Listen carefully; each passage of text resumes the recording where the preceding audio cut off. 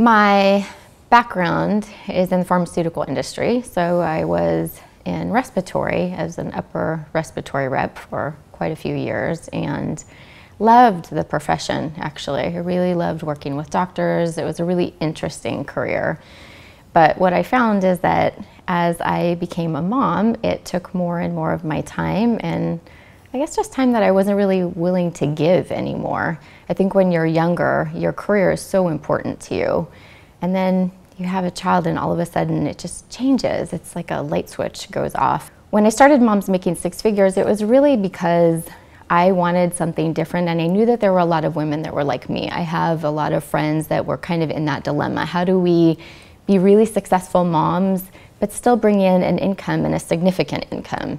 And Moms Making Six Figures really just gives you the flexibility to dictate your schedule. You can maneuver your career around your life instead of your life around your career, like a lot of people have to do.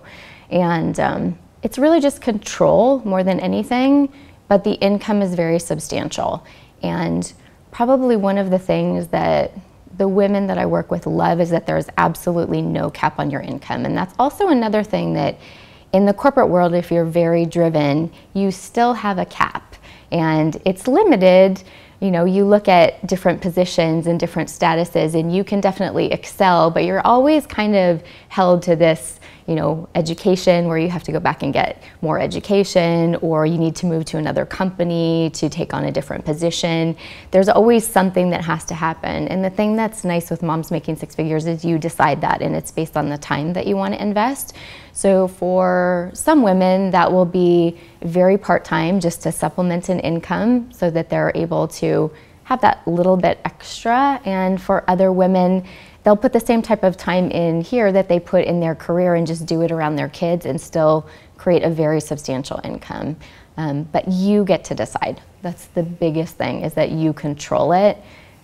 And I think that's what most of us are looking for, especially as moms nowadays.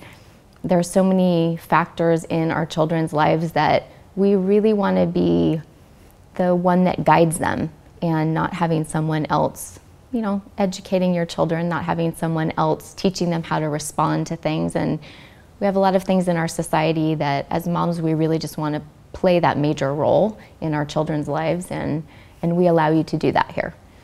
Moms Making Six Figures is a group of women that created a marketing organization to bring women home to their lives.